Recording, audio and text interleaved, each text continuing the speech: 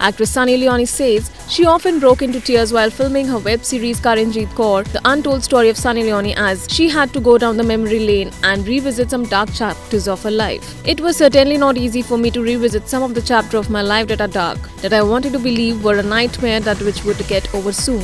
Some of the situations were hurtful and I never ever wanted to visit those memories ever again. During the shooting I broke down so badly. Seeing me breaking down like that, Daniel Weber felt terrible and helpless because he cannot fix anything of those chapters of my life. Losing my parents was terrible, Sunny told INS. Her web series Karenjit Kaur, The Untold Story of Sunny Leone will start streaming on ZEE5 OTT platform from Friday. INS report.